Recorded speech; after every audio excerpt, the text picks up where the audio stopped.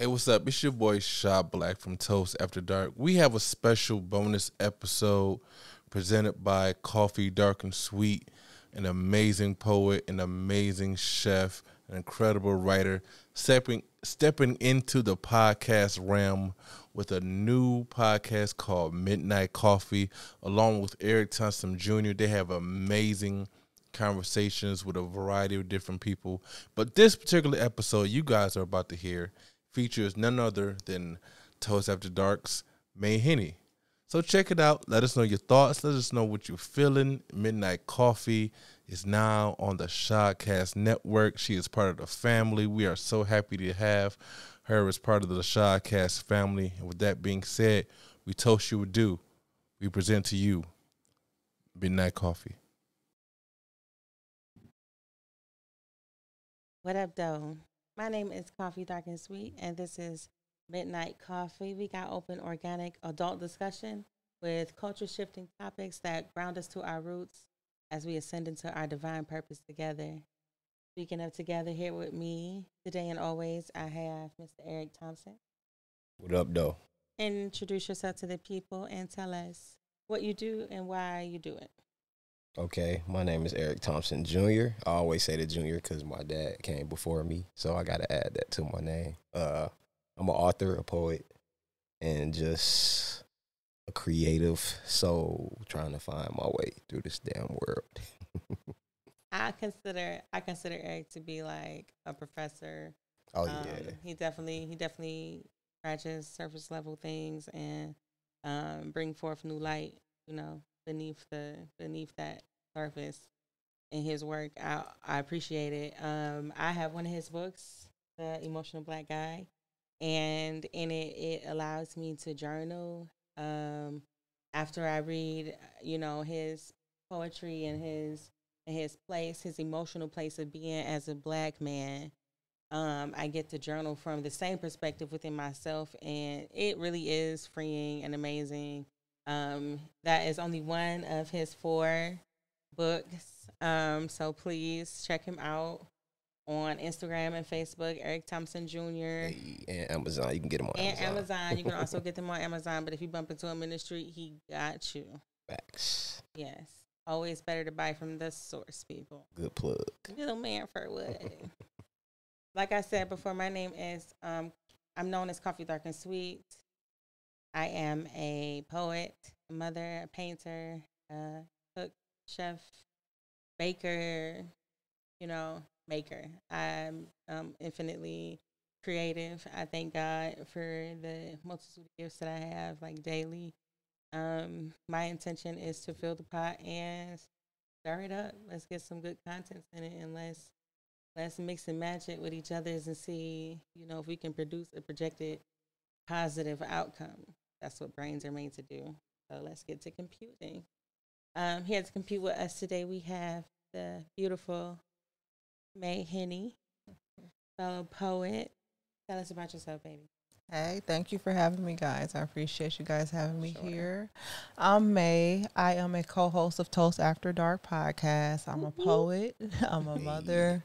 Check us out on Shahcast Network where you can find this as well.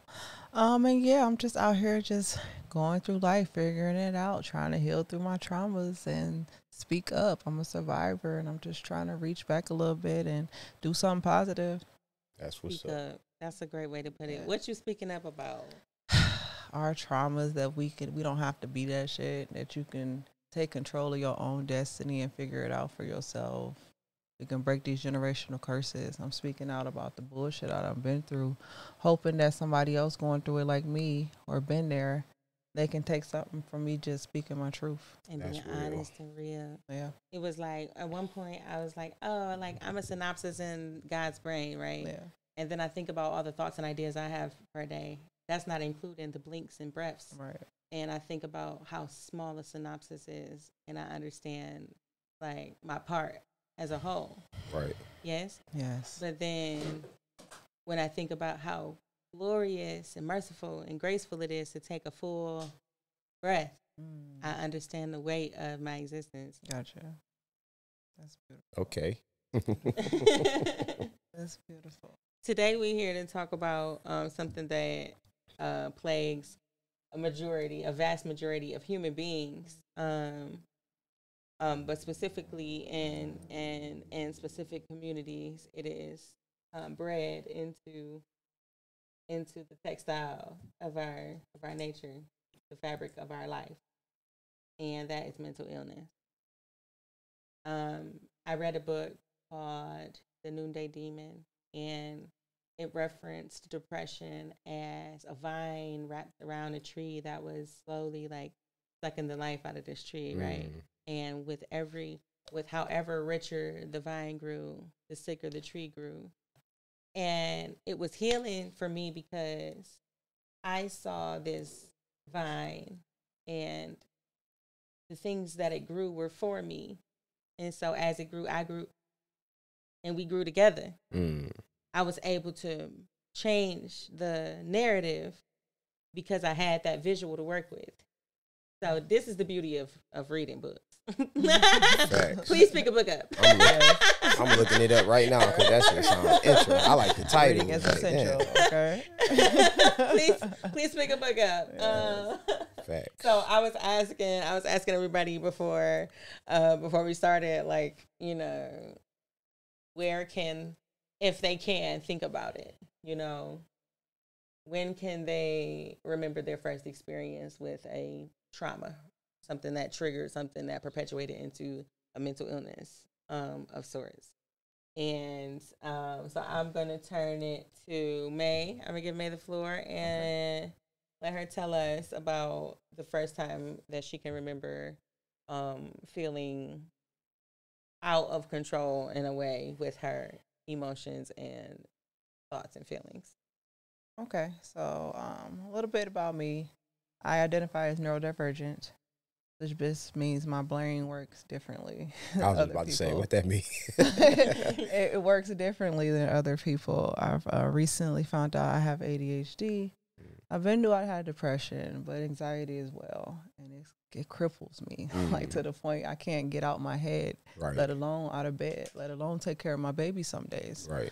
So, um, yeah. So, her asking that question, like, when did I start to be able to look back and feel those feelings? it's like during the journey, I had to be able to learn the name of those feelings. So now that I Mm. know the name of those feelings and what it feels like when I'm starting to head into a depression, Right. what it feels did you like when I'm first- anxious, I would say like young, like between the ages of three and five. And I'm thinking because that's when you starting to become aware of yourself. Yeah. You're starting to become a, you're aware of your relationships with other people um, outside of your mother. And so if something traumatic happens and the feelings you feel after that, I would say something closer to around that age, Right. whether it was just sick shit, like, or just stumbling into some shit, finding some porn or somebody's that as a kid you wondering like, what the Like, fuck what is is this? this? Crazy. I've It's known what sex was since I was three years old. So corruption yeah. happens. It's Yeah. crazy how innocent corruption actually Yes. is. Yeah. Yes. So yeah, I think uh, learning about sex at a very early age, um, I'm pretty sure that has some trauma and just having to hide shit. That's Right. anxiety. Right. Scared you gonna get caught if you get a whooping. That's anxiety. Or Mhm. knowing that you can't do this or finding out you can't do that because you scared of the repercussions. That's Right. anxiety. Right. Of being yourself Yeah. or finding yourself. that part too. And I know like for me, my mom was a single mom, so I had my dad's side and I stayed over there with older people. I'm talking like 65 and up and I'm the only 3 5 year old. Damn. You feel me? Like it is just me. I'm the girl and I'm the only girl on the street full of boys. Wow. You feel me? So when I go outside, it's all boys to play with. You feel me? So um just thinking about those times and wanting my mom when I couldn't have her because she couldn't manage three kids as a teenage mother. You know what I'm saying? Um, that type of shit. I know. I'm. I remember a deep yearning for my mommy Mhm. around those age. So I'm pretty sure that's depression. Yeah. I'm pretty sure looking back and just it's fucked up because the way my brain's so fucked up now, I can't remember. I'm not gonna remember half of this conversation we having right now tomorrow. I'm not for real? for real. So I'm gonna have to go back and listen the to it. short term But memory loss. the short-term it actually memory. is a is actually a symptom of burnout, ADHD, ADHD. burnout, Yeah. bipolar, schizophrenia. Mhm. A lot of a lot of mental illnesses Mhm. have a short term memory loss portion of them, and also COVID. That part too. Weirdly enough, COVID has a lot of mental illness repercussions, Mm. and which is that's a whole nother topic for a No, whole it's nother real. day. No, 'cause That's really real. But I- these illnesses yeah. be coming out They like be new fish be dropping. like what the fuck is a swai? Oh my god, so nasty. I said, what the fuck? It tastes like if recycled newspaper Ugh. Wow. was a fish. and it don't matter how you cook it. Because first I put it in Oh the my oven, and then I was like, oh, it tastes like that because I put it in the oven. What did you What did you call it? What is it? Swai. Swai. S W A I. I've I it. already I- don't eat tilapia. Tilapia is already bad. Yeah. I remember, but I remember when that came out. That's why I stopped eating it because I shouldn't be able to remember in my lifetime when when a new fish dropped, like an Usher album or something. That's crazy. It's crazy, right? It's I not like a Beyonce tilapia. album. It's a species of animal. so, so I stopped eating tilapia. So SWAT came out, and all of a sudden everybody talking about it like, oh, this is so random. But but I'm glad we I'm glad it is brought up because what we eat has a ex- a very crucial impact on our mental health. Facts. Facts. Whole facts. Yeah. Get a book. It's a book called Grain Brain. It will change your life. Mm. Um, how how, and it's actually movies about it, like Midsummer Night's Dream or something like that, or Midsummer, the one where they was running around with flowers on their heads, fucking each other crazy. That's What was crazy. that? Midsummer, know. That sounds. M I never D heard of S O. that. I know what you're talking about. Yes, But I never and there's like it, it give you hints about it being curses in the wheat and how the roots will trick your brain. Oh, but yeah, anyway, yeah, yeah, yeah. the in the book Grain Brain, they they uh they pretty much tell you and break it down how um uh, uh wheat is a degenerative germ and it breaks down your brain cells and is a very large cause of like dementia and stuff in our old age. Wow. And there are things that is taken from us just like just like a, a weed addiction or an alcohol addiction will take parts of your brain with it as it mm-hmm. goes. Sugar addiction, which Yeah. starts mm-hmm. mostly Yeah. with grains, because and the way that they are processed now today, they are nowhere near the same as they was in the biblical bread sense.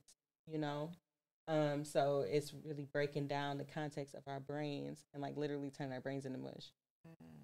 That's It is. Yeah. so, yeah, we really got to be careful what we eat. We are what we Short-term eat. We are what we think. Um. So yes. Sidebar, Eric. Yeah. Uh, can you can you tell us of like your earliest, your the earliest emotion that you can call? What's the earliest emotion you can call, and how old were you when you felt? So when we were speaking earlier, I spoke about uh, when I I was three years old, three or four maybe, and I stabbed my cousin, and we were like in the basement playing. I can remember vividly, like I can see the knife right now, like the floor. I can remember that part. I don't remember stabbing him. I remember getting whooped afterwards, and I was thinking about it though, like, cause I I don't feel the the effect of the trauma like directly, but I I've been thinking lately like that shit had to do something to me as a child, like other than just getting a whooping. It's like, hold on, what did that make me do? And like, I guess it's like the good, the good guy image. I've been trying to figure out how. I was talking to a friend yesterday, and I was like, I don't know why people always feel like they got to be perfect around me. And then I'm like, damn, it's because I don't show them my bad side. Wow. And then so I started thinking back to like like damn that traces back to then like oh I'm trying to be the good kid because I was always considered the bad kid because of that incident. That's the first one I can remember. Redemption. Yeah, it's so crazy, and I'm like damn. Now I'm looking like who am I? Mm-hmm. that Do you feel like wild. you've earned the redemption? Yeah, I'm not uh, because I feel so like far removed from that. yeah, it wasn't like I I never felt like I was directly trying to redeem myself, but now I'm looking at it like oh maybe it's just an innate thing now. Like I got to show who I am. Like the real you. 'Cause That's, Yeah. I feel like I feel like who you are is a decision that you make. no, for sure, for mm-hmm. sure. Um, and it's a, and it's not a decision that you make once a year. It's a decision Yeah, you make every day, every single moment. single day. hmm And everything that we go through in life gives gives us the opportunity to change our minds. Right. And sometimes we do. I, I I'm known to encourage people not to fuck up. I feel like you know we spend our whole lives being tolerant Yeah. and complacent and and non-confrontational to what ends Definitely. and to what means. When you say about non-confrontational too, I think about myself, and I've always avoided conflict. The older I got, the more I did it, and I'm like, damn, why? Good guy. Yeah, it's like my aunt said it to me one time too. She was like, every time it's an argument, I just like I'm getting the fuck on. Like, like why you always running from confrontation? And I was, I'm like, because I, I don't want to be arguing about dumb shit. But I think about it now, it's like sometimes that shit is necessary. Like you got to get out because sometimes you harbor whole shit in, and the only way to get it out is the arguing, the unraveling. So yeah, The truth is always a worthy foundation. yeah, yeah. No in- matter how my- it come up. Yeah, and my- and that's something I had to learn in my adult life. And and I remember uh, talking to somebody about like things I experienced as a child, and then being like, and I'm saying stuff like I could have made a different decision, and blah blah blah blah blah. And that's me being like self aware, right? I remember the kind of thoughts I was thinking when I was that age. I could have made a decision to do something different. There are people who make a different decision all the time. They run away. They Yeah. they make all types of different decisions in order to protect themselves from certain things Yeah, and for some reason I chose complacency. Mm. So that's that's that's uh, an accountability measure that for some people think is like too far seeking, but for me, I just claim responsibility for Right, myself. Right. Gotcha. You know, Yeah. and all of myself, even at even at its young adolescent stages, because I wasn't too young to question the nature of God and Santa Claus and and and all these other things. I and and the first emotion I can remember feeling is fear. You know, Mm. is anxiety, not Yeah. knowing, um, you know, being because you know I was adopted, so I was like flung into a brand new environment with a brand new person, and and this is my leader now, Mhm. and you know I'm um and being being adopted is a trick, a mind, a mind game in itself. Mm-hmm. That there isn't a is a identity crisis Yeah, that exists sure, within that all on its own. Even Yeah. if that was the only thing that I ever, you know what I'm saying, had to experience. It was just the the and complete and total fear and shock of Mhm. Of a n- brand new It's that separation from your foundation. Yeah, it's that a I did, separation. and and, yeah. and this is and and me being adopted can help me understand my plight on a cellular level because I'm black also. right. So it didn't and it, it didn't just start and begin with my family. Um, everybody who came from my family was ripped from their source right. and and torn and stolen from their source. Mhm. So they don't have no light there. They can't. They don't Mhm. know Right.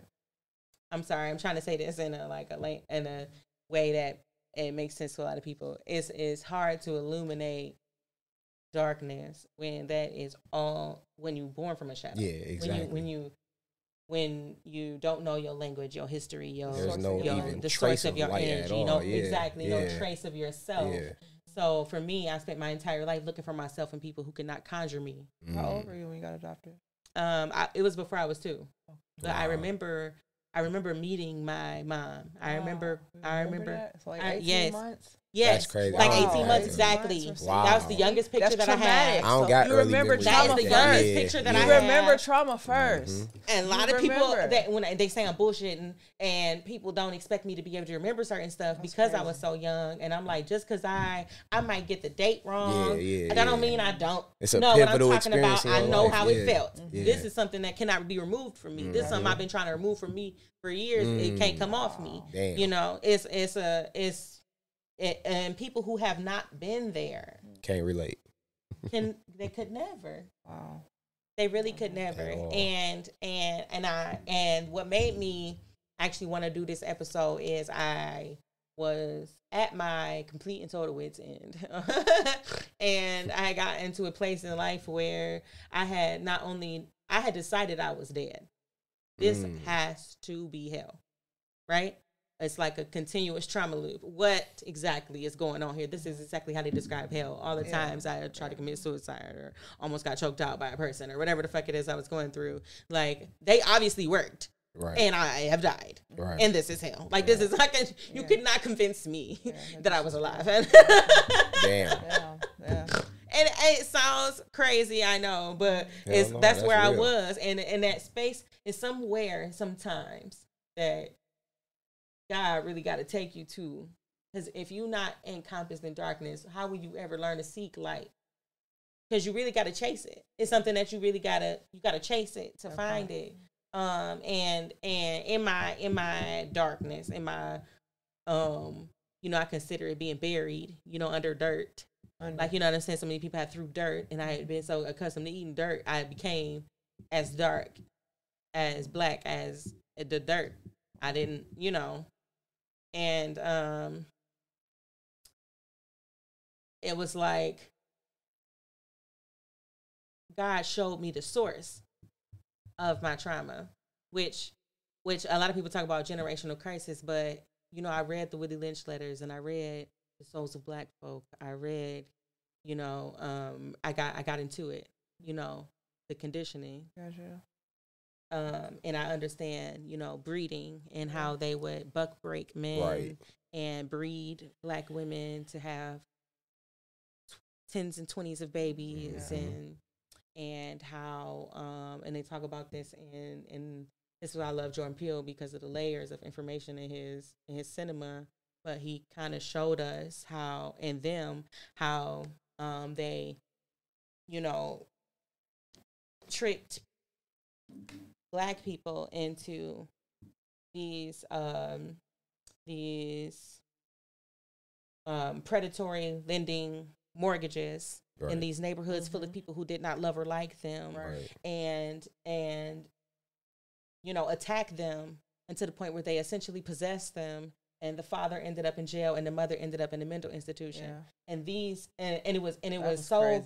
beautifully I missed that show. it was such I a didn't even see it. beautiful I didn't even see it. cinematic Yes, experience it was. I, uh, you- but you could you could feel your blood boil because Yeah. it's there. You can You can feel, feel, your the blood truth boil in your You can feel it. Like Yes. it wasn't. Fu- it was very entertaining, but it wasn't funny. It was not you fucking funny. That could have been your auntie. That could have been real. your grandmother. was, yeah, that and for was me, it was not could have Yes, been. It was it not could have been. them. My mother and Yeah. her mother were both born in mental institutions. Wow. It's not fake. It's real. Right. And and this is this is what made me want to do this show, this this topic on this show because I can see God revealed the trick of the enemy to me and it allowed me to set myself free from from being from suffering from mental illness, Mm. right? Because I understood how it was bred into me. Damn. And it's something about when you put stuff in writing. These the Willie Lynch letters were real. It was it was a decree that was written down.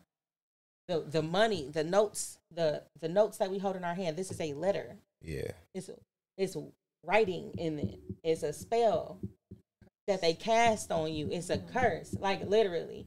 And I was able to see how okay, so I got two generations of women who were born in mental institutions. Not not just have been to mental institutions, were born in, which means my grandmother was I I mean my great grandmother was obviously in a mental institution as well for my mother to, have, a been kid, born yeah, into one. Yeah. For my grandmother and my mother to have been born into them. wow.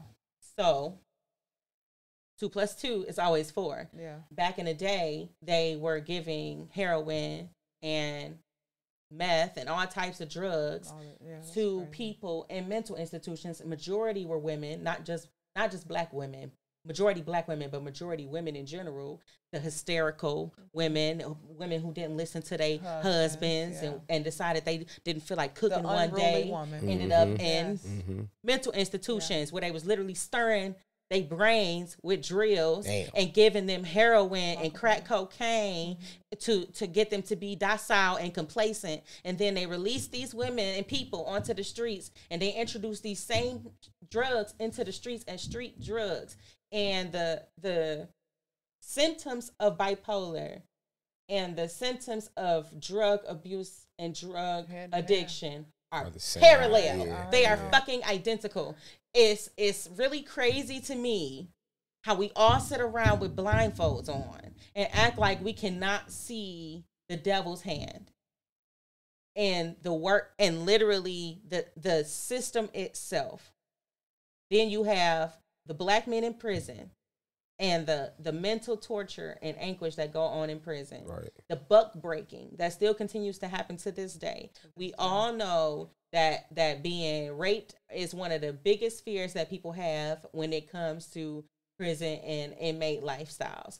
It's continuously talked about and joked about, which means we all know and have an mm-hmm. understanding that this is happening. Mm-hmm. Why is it acceptable? This is a state funded. We are paying to have our brothers and uncles raped. Yes.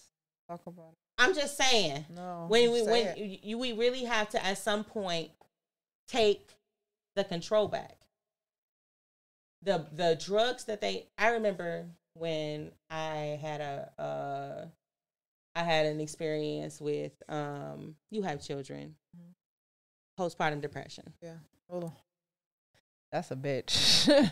That's a whole bitch. I had it both times too. Only after the second time was I able to recognize what it was or what it was. I had to learn about it, but that's something you just don't know. You got this brand new gift and you just don't know why you just you can't get it right. Mm. It's, a, it's a horrible feeling. You don't know why. I know for me, I, it was like, why don't I? Well, I should feel something for this little human in my hands, and I don't Right. Like what's going on? It's not quite there. Mm. and and i couldn't didn't want to shower. I didn't want to get out i didn't want to breastfeed my baby. Right. i knew if i didn't feed her you know something. So my sister had to come over and help me. And then my mom had to come over and help me. Thank me. God for them. yeah thank god for them. So that postpartum is so many women suffering from that shit Alone. in silence. Alone. In silence. I cannot imagine doing that alone. I can't say i'd be here Mm. I can't say my babies say. would be here. Mm. I honestly can say that if I was alone and they hadn't checked on me, I can't say we'd still be here. Damn. On top of dealing with, I didn't even know I had ADHD then. You Right. know what I'm saying? So, um, just, just people. Were, I'm I, I'm grateful that people were able to know me enough to know that I wasn't myself, and Amen. and I was crying and I should have been happy. You know, but yeah, that that shit right there, I wouldn't wish that on my worst enemy. But yeah, it's something that we don't get to talk about Yeah. and it's happening every goddamn day. Yeah. And there's a big chunk of judgment, shame. First of all, what people don't understand is a mother who is experiencing any type of disproportionate negative emotion towards mm-hmm. their child is already suffering. There is a level of shame. I'm supposed to naturally do this. It's supposed to be easy. It's supposed to, I'm supposed to be full of love and joy. These are things that they tell you to expect. And when you get them and don't have them, when you actually have a child and you don't have that experience, the first person you attack is yourself. Yeah. And the world follows through. If you if you don't have any specific person lean on and you try and lean on the world, the world will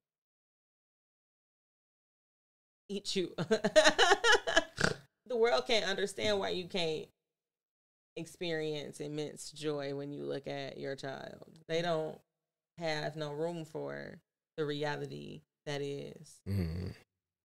depression in general. But more Hormonal changes. specifically, hormonal the hormonal changes that come with having a child and Yes. and for me like and i know you can probably like pinpoint this too but there were things that were going on in my life outside of being a mother that played a very substantial role in my ability to be a mother Mhm.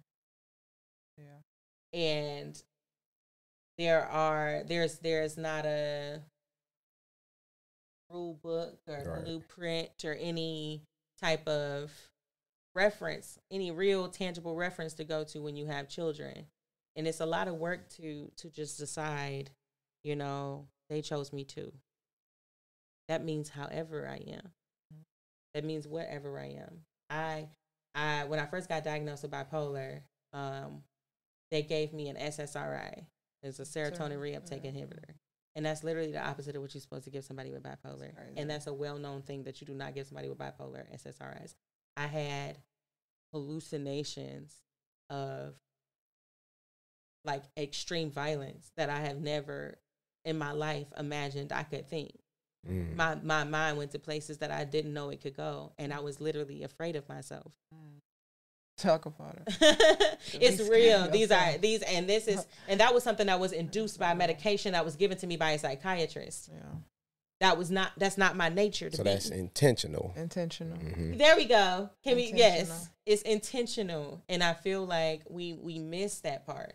A lot of us, you know, for people who are good at faking the funk, and I say that because to some level we all have hmm some type of mental Hell illness, yeah. whether it be PTSD, which is the most common form, Right. because we all experience trauma on some level, which Jordan Peele also referenced in the movie Get Out, and the therapist kept clicking that T cup, Right. and every time Mhm. she did it, triggered the memory of your deepest trigger That's crazy. because it takes you right back to being three and 5 years Mhm. old when you were the the bad boy and the Mhm. fast girl Mhm. and you didn't feel like you had any control over yourself so when when you when you feel like that and you triggered into now i can't even breathe right my windpipe's all twisted up and, and air is not moving through me freely i'm crippled Right.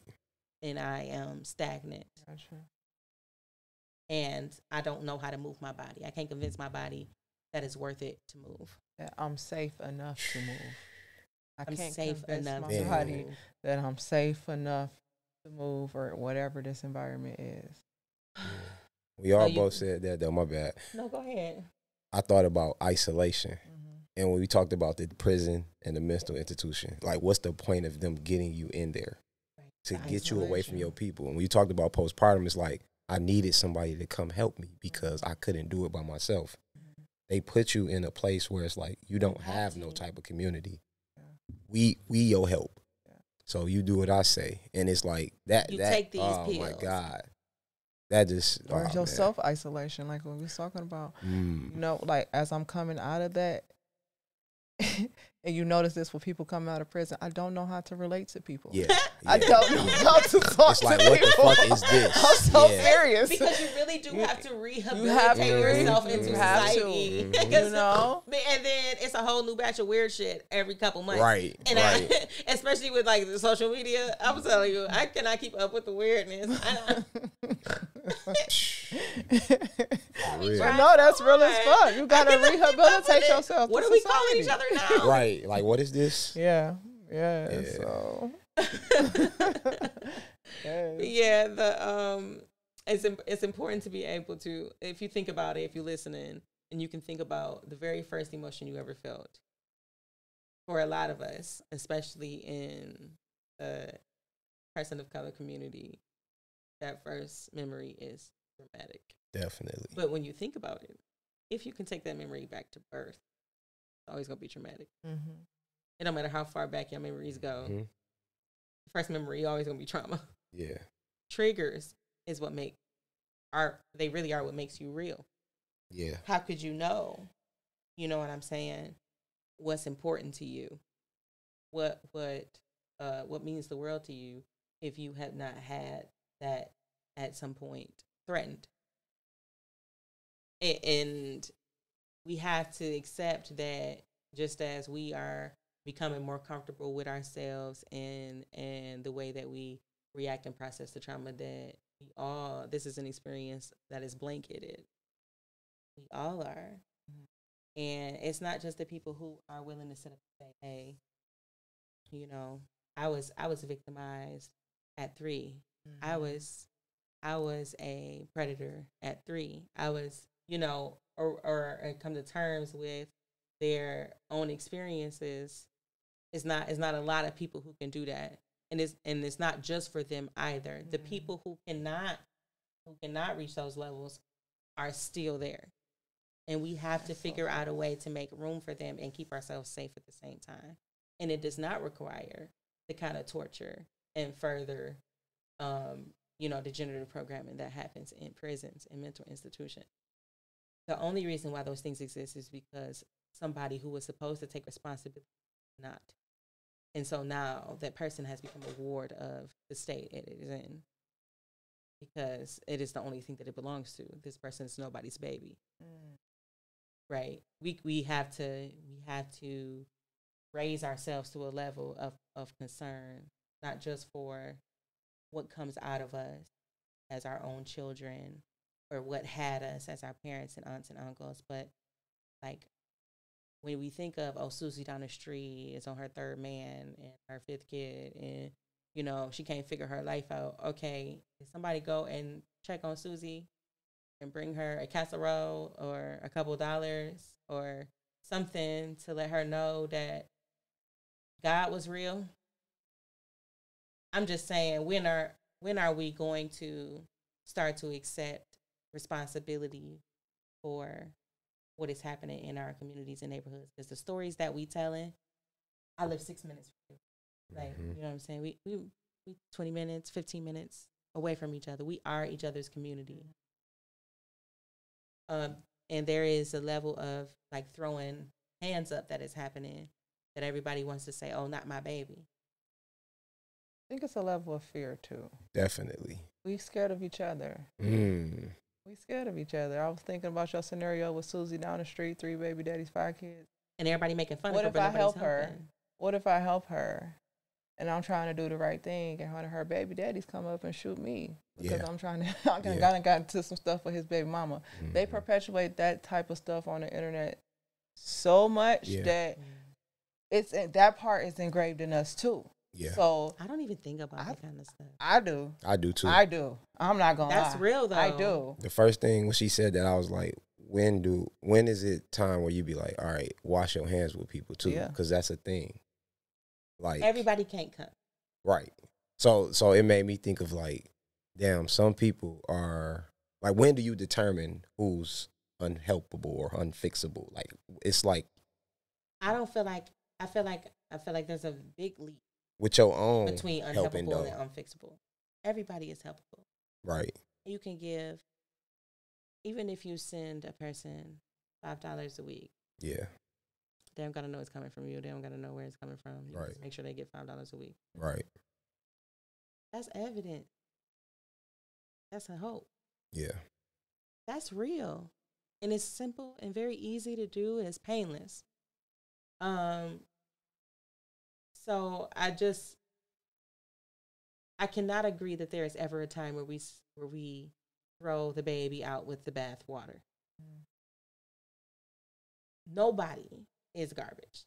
Yeah. I, I just I, I'm sorry. I don't and and I know there are people who do incredibly disgusting, vile, intense things. And that that that and we would look at them and think they do not deserve mercy.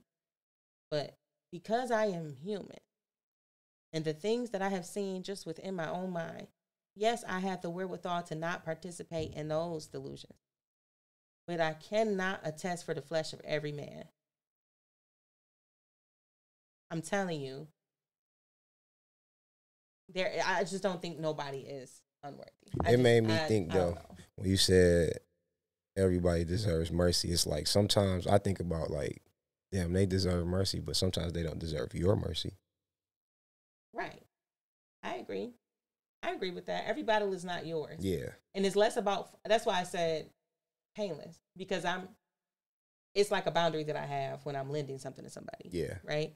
I don't ever give anything I'm going to need right back. yeah, mm-hmm. If it is not an abundance to me to give, I don't have it to give. right. God did not design for me to give that to you. So, I think it's just as we all learning our boundaries too. Yeah, Because Yes. people scared to take get taken advantage of. facts. You know what that's I'm that saying? fear like you if I talk help, about. I'm yeah. giving you five dollars, like you said every week. What if you follow me home one day and come up in my crib? Now you want the rest of my money? Like that, I hate how my mind works, but that's how it works. Mm-hmm. Yeah. So, but I don't want to be like that. I do want to reach back and give back to my community. And like you said, everybody is. So me living far out, I do want to, especially after last night, I want to come back and figure out how I can help bring our people forward. Because me saying safe out somewhere where I can leave my doors unlocked when that's not the reality for a lot of people, it make me feel some type of fucking way. Yeah. I can't change that, but what I can do something. Yeah. But you know, it, I can't say like as a human that fear still is not the fucking there. Yeah. You know what I'm saying? Yeah. One like people look at me like I'm eating and I'm not. You know what I'm saying? But that just because you I think I'm eating, thing. Yeah, you know what I'm saying? Now I'm a target. it and turns that's to the, a that's the- perception. yeah, survival mode versus when you out of Mm. survival mode, you can reach down and give back to the people that's instilled in survival mode. It's it's it's that's the part where I'm feeling like I gotta learn the level of discernment Mm. as I'm reacclimating myself to humans. You know what I'm saying, and boundaries and stuff. That's so healthy. that's a that's you know that's what I'm trying to do. But you know, I would still say like that anxiety that I deal with. It's you know it's, it's still there. It's a it's a reality Very for me, real. and I know. As you said, it's a generational thing. My mama send us shit that happen on in crime in the D Oh, every okay. fucking morning. Yeah, yeah. You know, she y'all going to the city, y'all y'all in the city, y'all in the city. So it's an ex, you get what I'm generational Yeah. anxiety. Mm. And a She lot of people lived in think the that's city our whole protection. life. Yeah, They yeah. think that's She protect- mean they no feel harm. protect- She she trying to mean no help harm, you. but Yeah, she- yeah. You know what I'm saying? So it's like I'm on like the interdigital side. I'm on the side of like, okay, I can't stay isolated. You know what Yeah. I'm saying? So long. I got to, you know, do something. I don't know what, but even if So it's just walk the blocks last with night? Zeke. Tell us what happened last night. So high level conversations with 19 Keys, Billy Carson, and Zeke uh, from New Era Detroit happened last night. And when I say that shit was history in the making, like I hope they release some type of footage or something Mm. where Where was it at? it was everything. It was at the Masonic Temple, Okay. and it was. I just posted it, and somebody invited me. They had an extra ticket, so I was really grateful to get that opportunity. Yes, and um, it just felt like I was supposed to be there.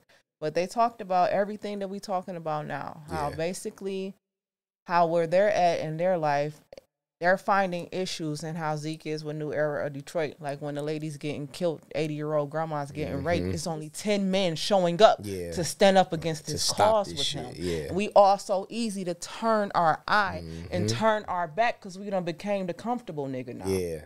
Yeah. This- that's the same thing I was saying about Sally, though. Yeah, it's Don't turn same your back thing, on yeah. Sally Turn your back on Sally, I either. get it. Yes, I get it. So as trying to be accountable now and and listening to that, like the soldiers, you know what I'm saying? Our soldiers need the thinkers. They everybody not a warrior. Right. You know what I'm saying? Right. But some people can write letters to uh to legislation. Yeah. You a yeah. poet, you could probably help out with that. You know what I'm mm-hmm. saying?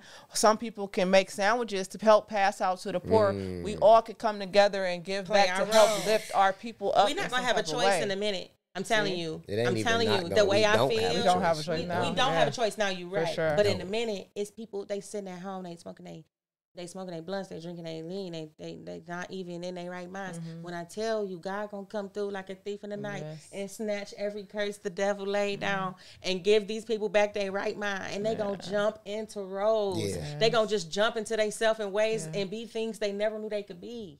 Like it's gonna be really, really amazing, mm-hmm. and I just hope that we all are preparing to be our best self. That's what this is about. It's about Mm. let first of all, pretty much, if you black, we come from the same place.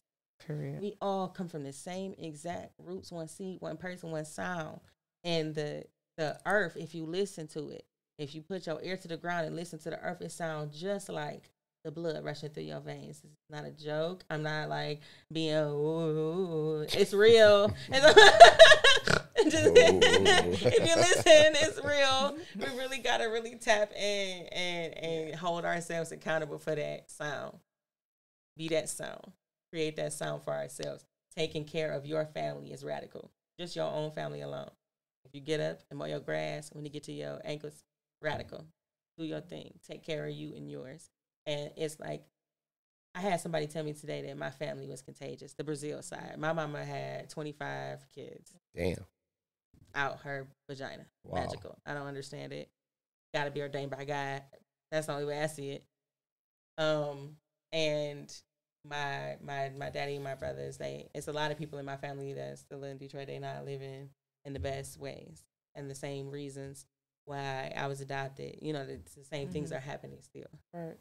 and the Muslim at the store today, and he's like, um, you know, the Brazils they are contagious, Hmm. and I really wanted to smack the fuck out of him, and I told him that I was like, he, he, he you saying all that behind that glass, but you let me back there, I'm gonna smack the shit out you, just so you know. Like, I don't think that's something. I just don't. I'm, I'm not comfortable with somebody who not even skin folk playing about my name. I, I don't Put care. It's just saying. I'm just saying. Still a God. But in that in that contagiousness, the the realness of what he said, and this is why God is real, because God will put lessons in the mouths of degenerates. And what I heard was contagious. I'm a Brazil. I'm contagious. The more radical I am about taking care of my family and being the best version of myself, it's gonna catch on like a virus. Mm. I love it. It's I love it. I'm glad you Spread spent the shit. word too, because I was thinking that when you said it, like contagious. Like I feel like when we talk about helping others, you got to get to your root of your cause and what's what's going on with you first. Like I can't f- pour from an empty cup, so I got to deal with me first. Amen. That's how we help our community. You Uh, got that's to start with yourself. And Steve Harvey, he's talking a lot of bullshit, and I really don't like Steve his big shoulders. but he said, "I cannot do nothing for the poor if I'm poor too." Yeah. Fuck Steve Harvey though. Fuck Steve Harvey, though, yeah. I'm not. Nah, that's real, though. I'm not That's into real. it, but that's he said. The thing about it is, he's successful. There are certain fundamental things that come with success, and that's why all of them pretty much sound cookie cutter when they get to talking about how they got to how they got yeah. to because they focused on a thing, they believed in a Mhm. source they couldn't see, Right. they yeah. manifested and spoke on what they knew their truth was to be. The power of the mind is something so incredible and magnificent that a lot of people are taking advantage of because they came with that hardware and they think Frequency. You know, they they add stuff to the outside of themselves to make themselves feel valuable, but it's the priceless Hmm. things. It's the free things Right. that come with being born, the gifts that God give us. Mm-hmm. Talent has done so much more for me than money ever could. Facts. And that's just fact. I didn't, the God did that. I didn't decide. Like I said, I, I never decided to be any, even a cook. I never said, oh, I want to grow up and cook. Right. Ever. Mm. I had a cooking mama and a cooking grandma. And when I met my biological family, I found out I got a cooking uncle, auntie, brother, sister. It's in my blood. Yeah. It's in my bl- it's in my nature and my nurture. I didn't even have a choice. See, it chose you. It just happened. Yeah. And I'm not the only one. You a poet. Mm-hmm. Did you decide one day like, oh, I'm gonna just be a poet? No, I just wrote my feelings one day, and I was like, I could read this. And Right. People was like, yeah, and I was like, I I like this. I want to keep trying this. I want to get better at this. I want to use my voice in this way. Was it therapeutic? Uh, it was scary, and- but Mm. it was powerful. And I'm starting to learn that anytime I have that feeling in my gut, I'm going in the right direction. Right. That's facts. That's yeah, facts. no matter how slow I'm going, long as I'm scared, but it's like a burning anxiety, Mhm. then I'm on the right track to Yeah. keep doing it. Yeah. Passion. So, uh, Yeah. yeah, I, I don't. It's Is that, pa- look, passion I don't is know. like- Is is that that like how I feel? of I don't know. It, yeah, I, I, I'm feeling it like it's like the opposite of what fear would be. Mm. Fear would be a burning that stunts you. Mm. Fear would Yeah. be it stopped. uh, me. it'll sear you Yeah. at the ends, and passion would ignite you, that makes sense. and it will give you a burn that is is in, insatiable almost.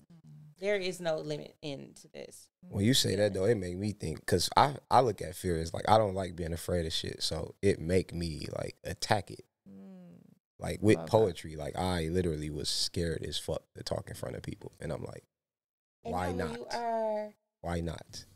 Co-host on a podcast Right. books in town. Right. Turn up. That's crazy. I don't even look at fear as bad no more because Yeah. sometimes it's well, I'll say this: it's healthy fears too. yeah, gotcha. That like fear is the passion in yeah, general. Yeah, It's I, I feel like at one point at one point I realized like, okay, I had this thing that I was I called the suicide panic button. So every time I had a minor inconvenience, I'd be like, Oh, it's time to die. Obviously, nobody Mm. loves me. It's the end of the world. right. Make it extreme. yeah. I'm like, yeah. oh my god, my hair's not done. Bitches hate me. I'm not-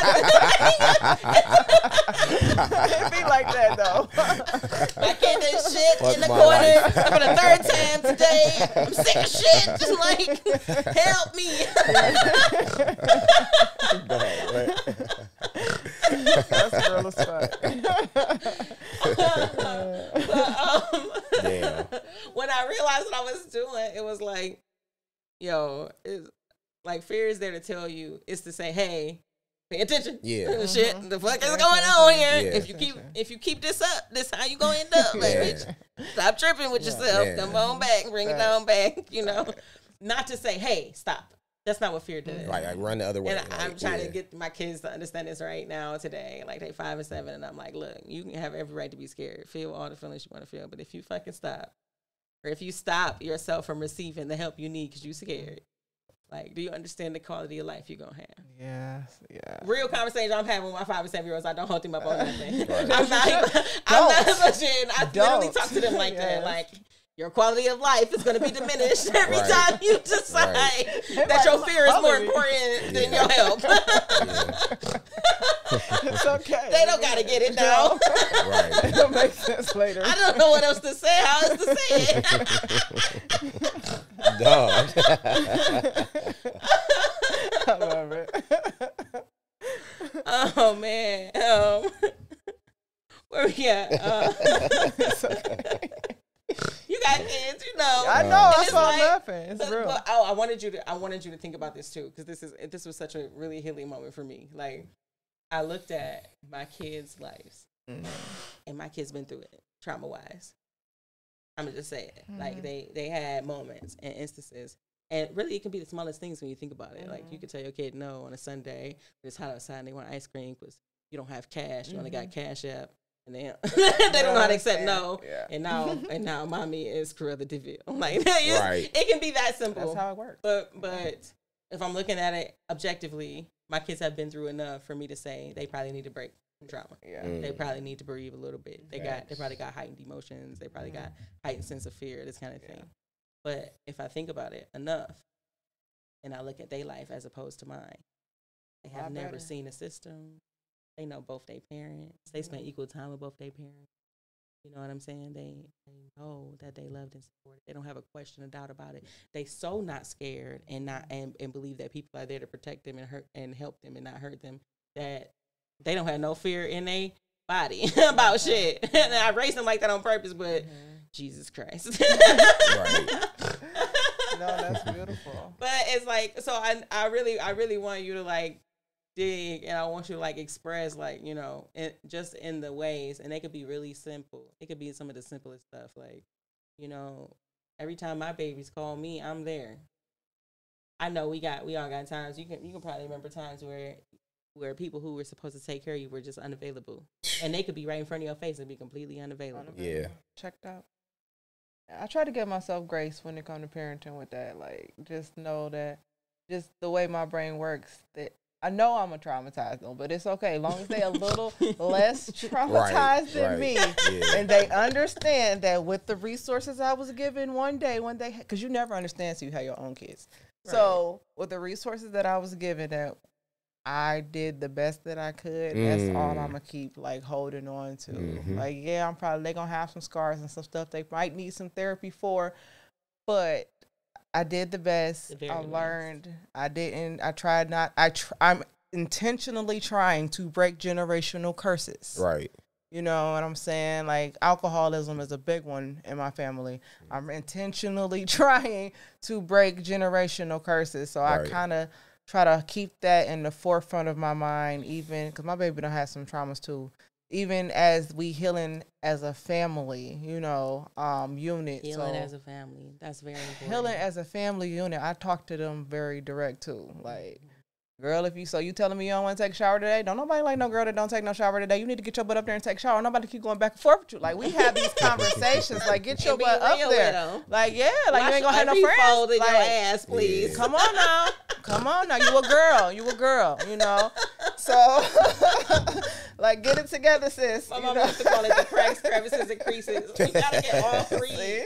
Right. Right. That's what I'm saying. So yes, just trying to heal together, man. I think it's important for us as parents to not want to not want to just make it at least three steps better than the last generation. You may it's a legacy because you're gonna be dead and gone, and you're gonna need somebody to take care of you before you dead and gone. If you lucky, you know what I'm saying. If your kids don't fuck with you, you If I'm fucked. lucky, I You're gonna be back in spring an chicken. isolated institution as an old person. We was talking about it. It comes full Yeah. circle. The Yeah. old folks' The homes old is folk another It's the same shit. It's another old form folks' of it. home. Yeah. So that's what. I'm saying. Thank you, you got to kill yourself so you can your babies can love you. Yeah. Yeah. So that your Yeah. babies can love you when it's when you uh, become a burden to them if you're lucky. When you become know, a baby. when you become the baby. I Mhm. had this like full circle moment, y'all, and I and I had to repent to God because I was treating my kids like a inconvenience. Mm. Damn. And it wasn't that I wasn't there for them or present or active or none of that. Mm. It was just that every time they had a feeling that was more than normal, Mm. every time they was anxious or sad or sick, I was extremely angry about it. And and it wasn't something that I was like doing on purpose. It's my natural reaction. Right. But I had to take inventory with myself and and it was like a light went off in my head like your kids are not an inconvenience. Nothing about them asks to be. And just because you got shit to do, you know what I'm saying? Mhm. That don't it don't really give you the right to be so frustrated. And you really need to calm the fuck down. Hmm. Higher self talking. Okay. yes. That's real.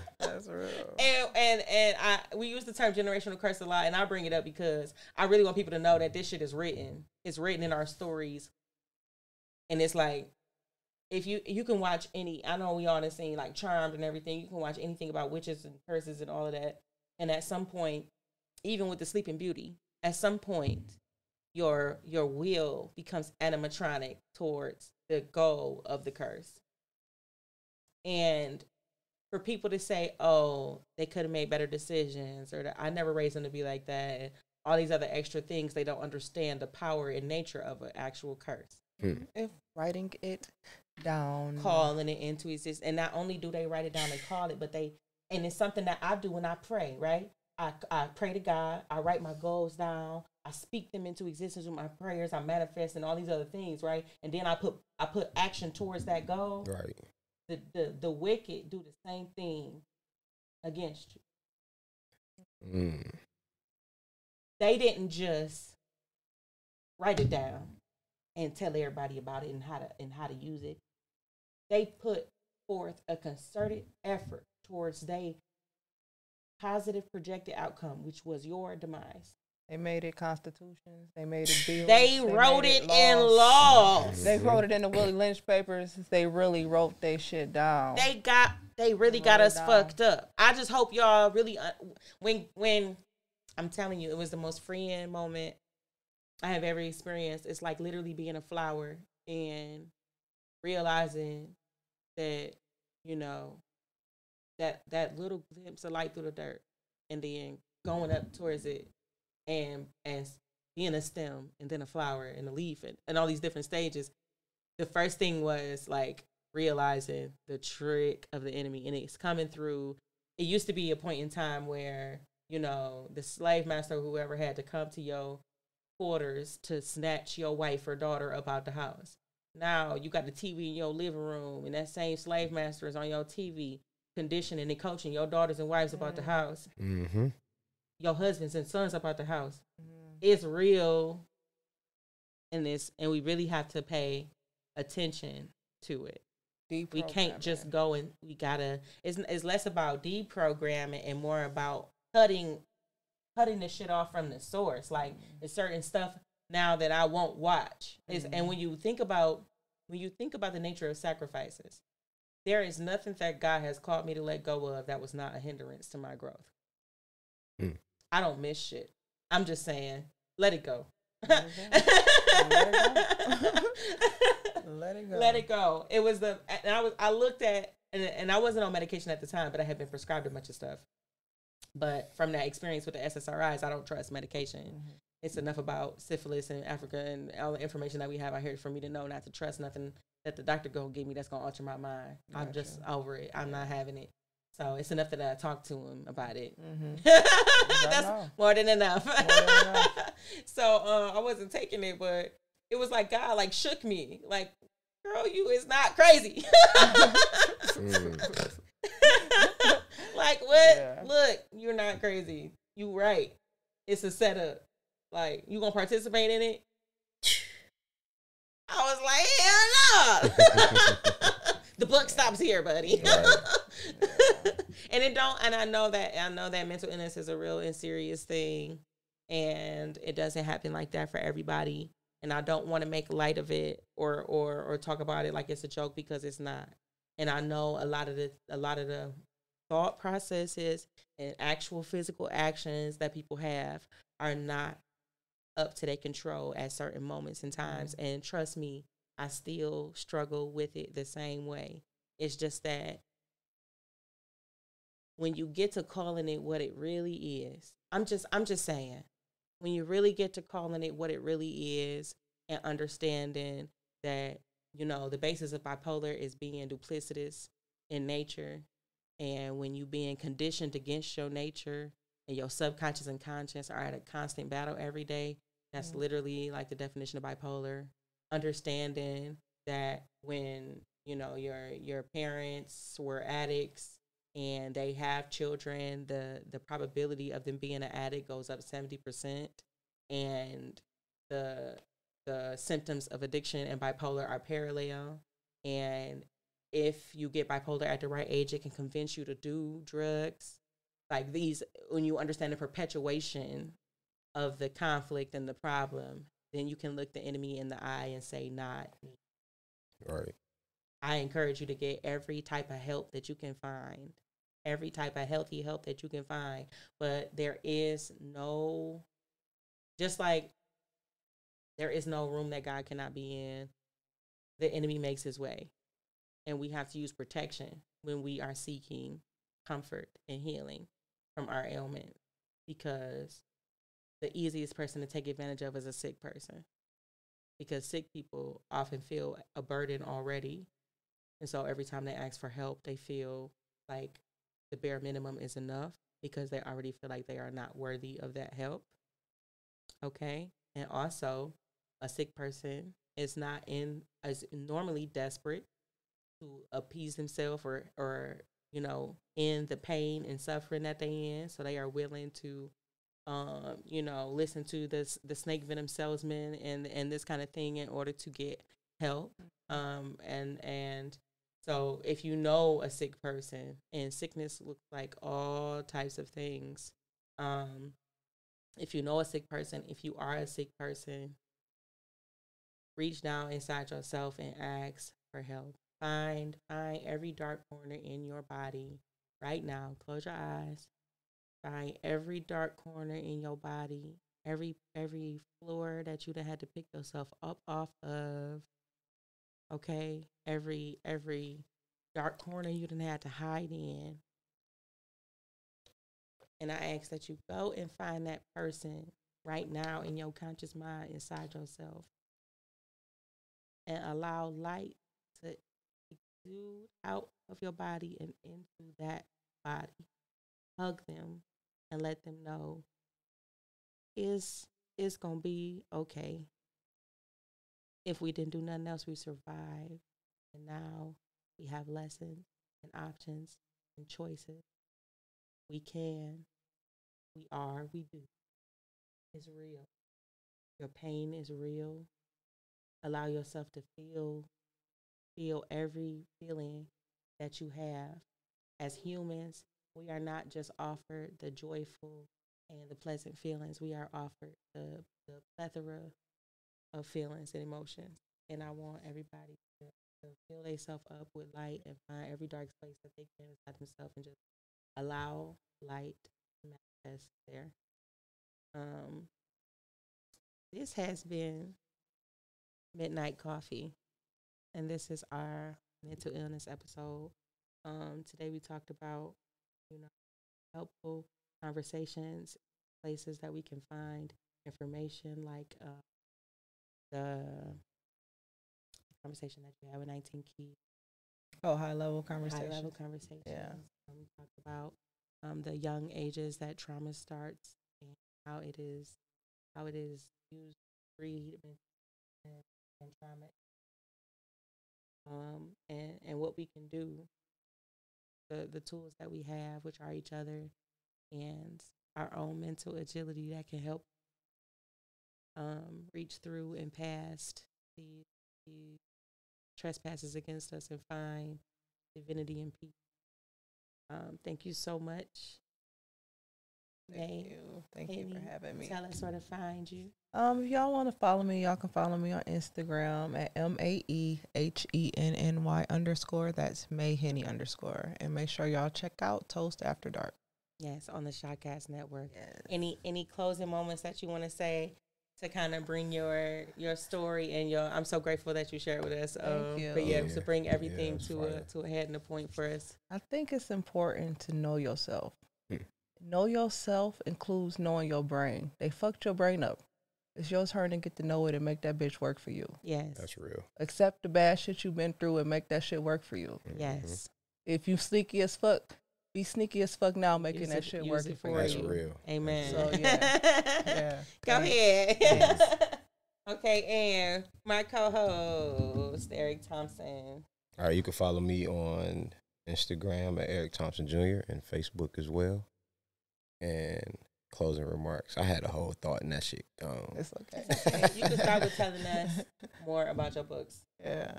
all right, so my first book is called Blame It on the Music, and I wrote and talked about 66 songs that I feel like changed my life. We talked about trauma. Like my mama passed when I was 13 years old, and that shit was traumatic as fuck. but I felt like I didn't have a therapist. I didn't have nobody to go to, no trauma. Uh, what did they call it? Like grief counselors. We didn't have that. So I feel like the music was that for me. So that's what the book, the gist of the book is that.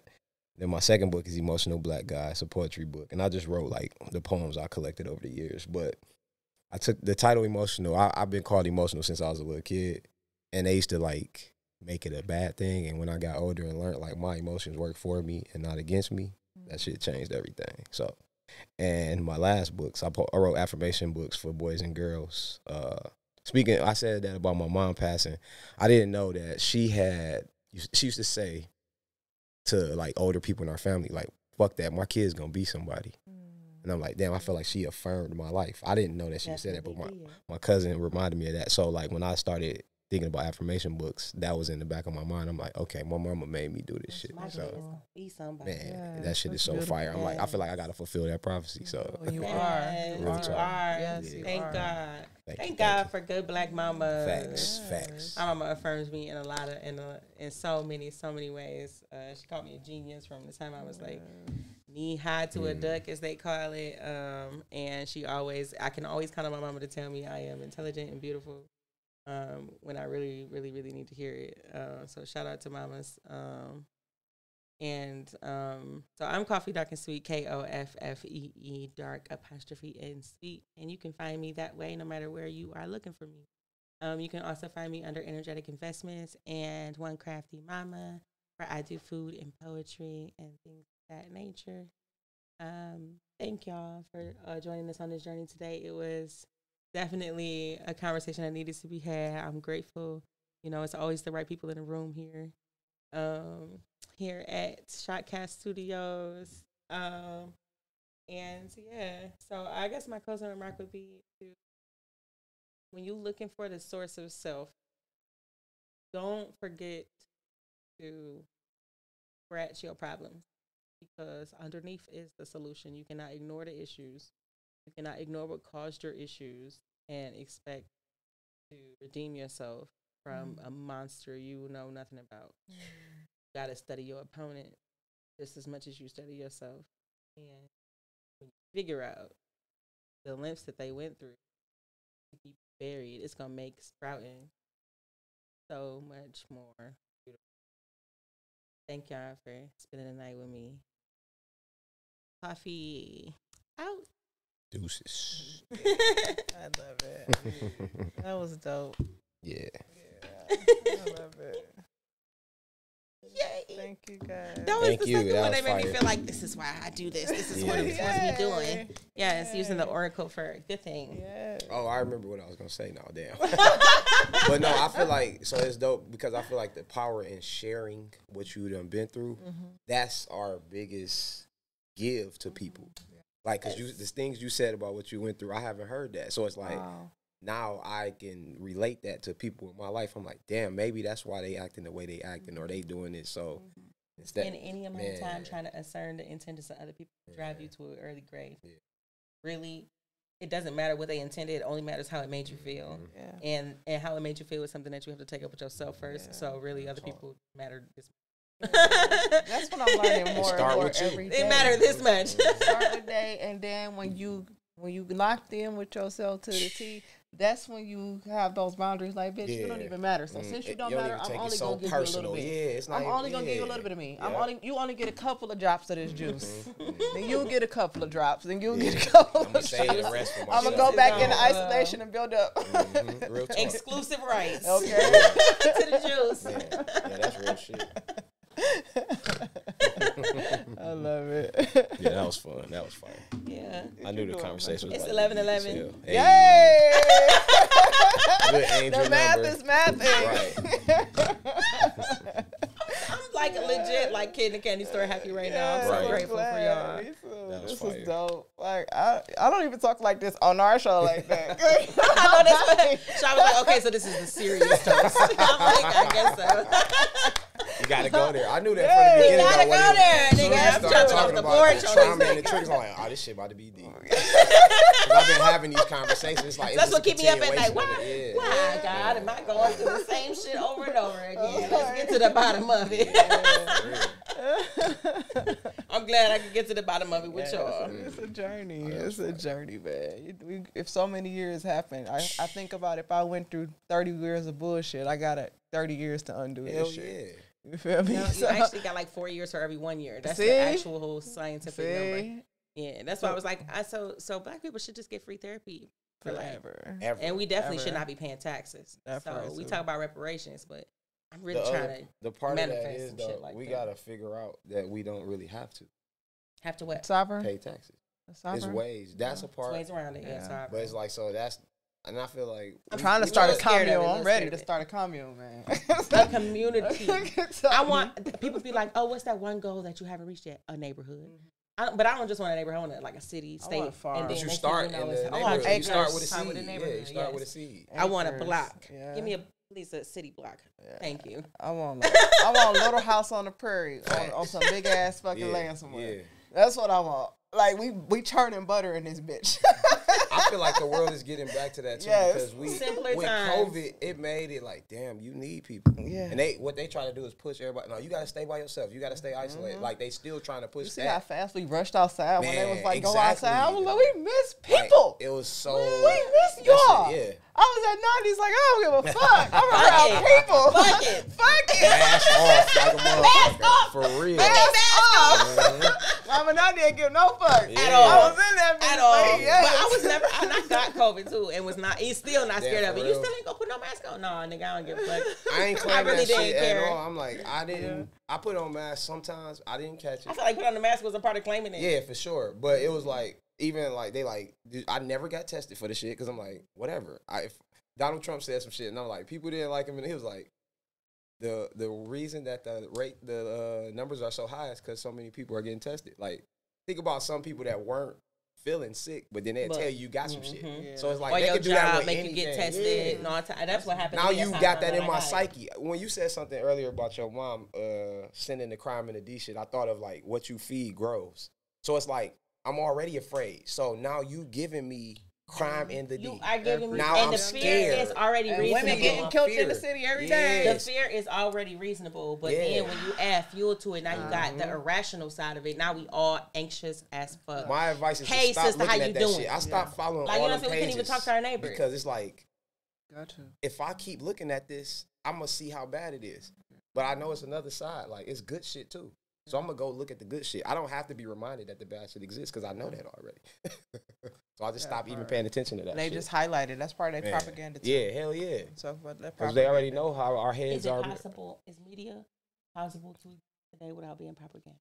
What they talking about last Hell night no. is the importance of all of us starting our own fucking media, like we Mhm. fucking This doing right is now. why. 'Cause because that's- is yeah, getting that's real fucking shit. Back to the 'Cause roots, propaganda because is we tired good. of that shit. Mm-hmm. Propaganda Sick of it. and they It can was be sunloud and all the work. We they was like Yeah. I said, people need to study war more Yep. too. Yep. Because they talk about you don't win hearts, you don't win the war by guns. Hell you no. win the war by the hearts and the, And the mind, of the people. Mhm. yes, So- that's what allowed um the Hitler. Russia with the Obama stuff. That's what they was talking about the last Mhm. one. How Yeah. the how they was slamming Obama when he was in office. That was a bot that Russia fucking had, Mhm. and they was talking about that shit and how they, well, you know, it got into the psyche. So we start like this, speaking our truth. That's, That's what it. he's talking about. This is right, us writing our Yeah. own constitution. Yep. What we doing right now Mhm. and it, putting money into it and quality into our shit is bound to catch fire. I just looked at some shit I recorded I'm so one glad day. I invited you. I gotta th- Yeah, thank you. you're I'm a great happy to be here. I just looked and got anxious because it's up to a thousand fucking views right now, and I was just on that bitch talking. I'm like, a thousand views. What if I wake up this bitch at ten Mm-hmm. And I'm just like, I didn't think no thought when I posted that shit. I was just trying to get somebody to tune into the fucking network, you know. But people don't fucking put their eyes on it. Because you got So- something to say. I guess I had something to say in that video, but get that's the point. Like Mm-hmm. we is tuning back to the roots with each other. Yeah. I know I'm creating made to our be an own oracle, narrative. so- You know what I'm Yeah. saying? So it's a story that specifically we here to tell Mhm. that keep and it's like they kind of keep, keep trying to cut around it. Jordan Peele got to play it in layers, but no, I'm gonna say that shit. Say I know what you did to my what, daddy, bitch. What Jordan Peele do Like- is he's planting a seed And my in uncle you, nigga- though. okay, Everybody run play me my part. motherfucking Yeah. reparations, bitch. I think that's the part we gotta stop attacking each other too, because it'll be like, no, do it this way. It's like Yeah. everybody play their part. When you talk Yes, about that's war, it's why- like everybody yes. not meant to That's be on he the front said. lines. That's Like what he was motherfucker, and it's very You got a radical right. just You to got a take care of your you gotta think. You gotta Yeah. take care of Yes. you. You gotta be the computer programmer. Yes. Like all of us exist and are necessary. Yes. Was thing. I good on time, or did I was I under or over? No, you good. Okay. My fucking head hurt. Okay. Man. Hey, we all got a roll. and We all got to Then you on fire. Man. It's okay. It's okay. It's okay. Keep These doing it. It's okay. so. I know. I'm. It's, So I know. Yes. I'm trying to not. I'm trying. I don't want to overwhelm my listeners. High-level but I feel like Fuck they. that. Fuck that. I feel like the right people gonna listen Yeah, and they that's gonna it. need to hear this That's shit. what I was talking Yeah. about. I feel like this gonna be the one. We're gonna be like mm-hmm. coffee up. Yeah. yeah, I was on an episode with coffee. Like, yep, Yeah. you, you- I, I, I can introduce you to her if you want to, because she need a whole, she need a whole everything because she not holding nobody up. She's stirring pots out here. okay. No, that was fire. That was fire. episode.